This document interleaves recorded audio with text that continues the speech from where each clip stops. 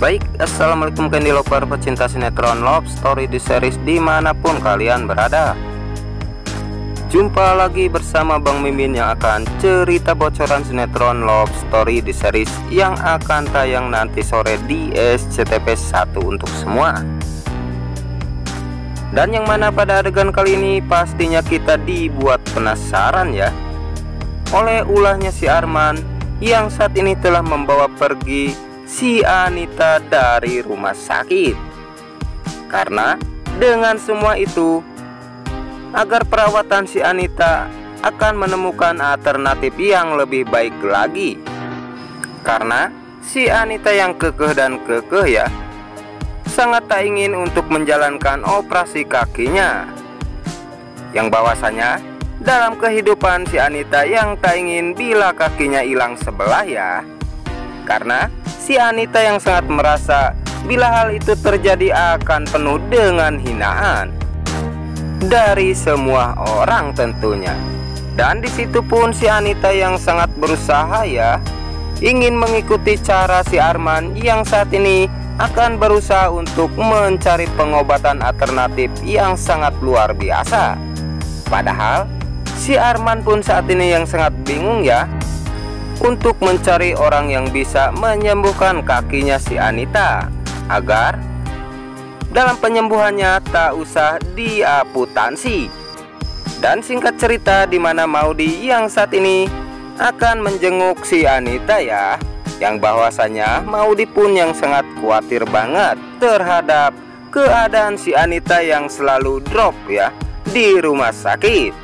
Namun saat ini Maudi yang sangat dikejutkan ya Bila saat ini si Anita telah tiada.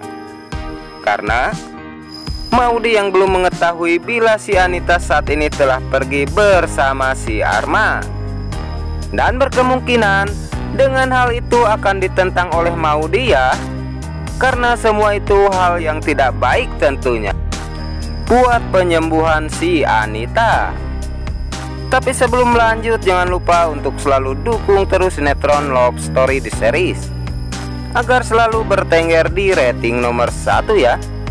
Dan agar tidak rasa penasaran atau kesalahpahaman tonton terus tuh Sinetron Love Story di series yang akan tayang nanti sore di SCTV Dan adegan selanjutnya kita yang akan disuguhkan lagi nih oleh Prihal Sihatar Yang saat ini masih merasa bucin ya terhadap kehidupan si Madinah Yang mana saat ini si Madinah yang telah pergi ke Bandung bersama si Dena Yang bahwasanya si Atar pun saat ini sangatlah merasa kehilangan si Madinah.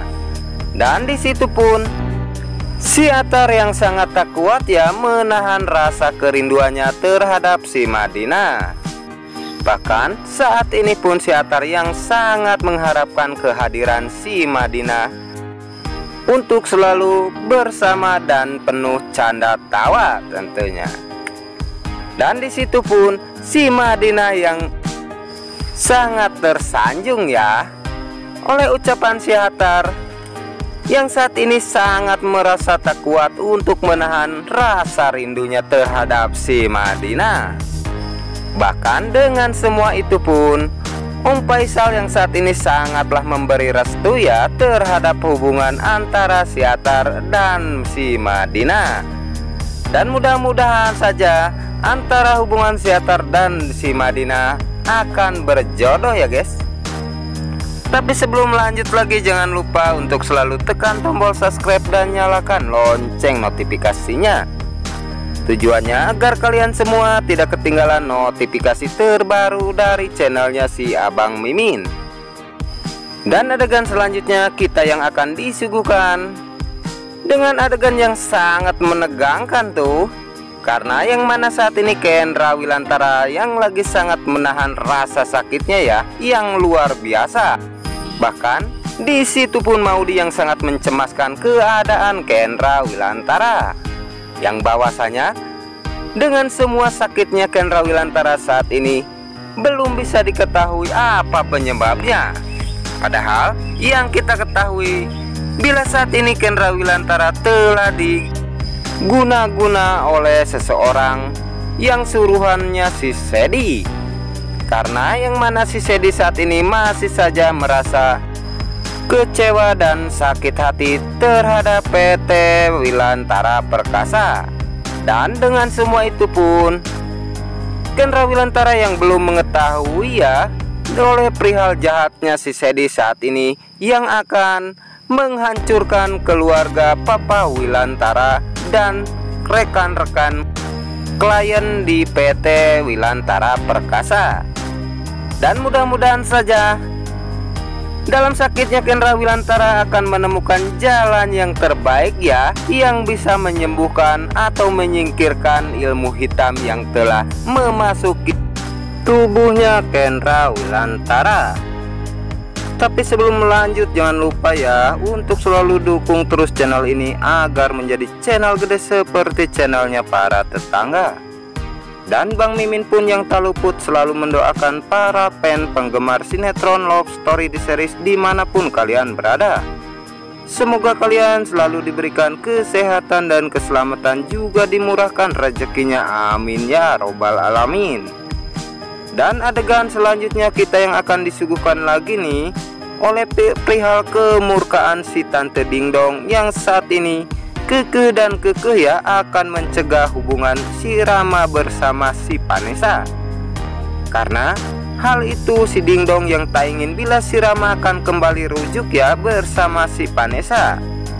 Bahkan dengan semua itu pun si Dingdong yang telah mengetahui dalam kebersamaan si Rama dan si Vanessa karena saat ini si Dingdong yang selalu diberi konfirmasi oleh si Andi ya dan di sisi lain semua itu pun yang sangat diharapkan oleh si Reisa bahkan si Reisa saat ini yang telah membujuk si Rama agar si Rama cepat menceraikan si Vanessa.